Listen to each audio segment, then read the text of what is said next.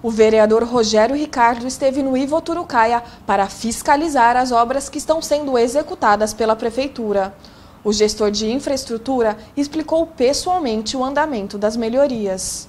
Né? Nós temos ações de desassoreamento de rios e córregos é, aqui no bairro que nós estamos programando já para ocorrer dentro do nosso programa permanente de desassoreamento de rios e córregos. A recuperação do talude né, na José Mesaleira foi uma obra importante. Nós tínhamos ali é, uma parte que estava cedendo. Na César Cozin, nós também trabalhamos a travessia sob a rua, né, embaixo da rua, na verdade, a travessia de três linhas, três ramais de galeria, uma de um metro e meio e duas duas de um metro para resolver o problema de alagamento que existia naquele ponto.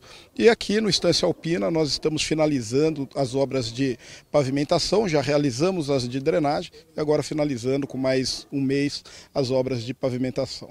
Seu Pedro mora na Vila Alpina e conta que o asfalto melhorou o dia a dia de quem vive na região. Melhora muito, melhora tudo na verdade, porque lembro disso aqui quando era terra batida, terra, pó ou lama e muita dificuldade de locomoção. Isso aqui hoje é realmente um paraíso. Silvia tem um comércio às margens do córrego.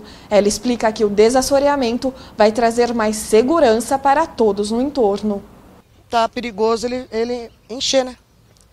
Que tá, tá tudo entupido. Uhum. Então tá perigoso ele inundar e inundar as casas para lá, chácaras para lá, vem inundando tudo, né?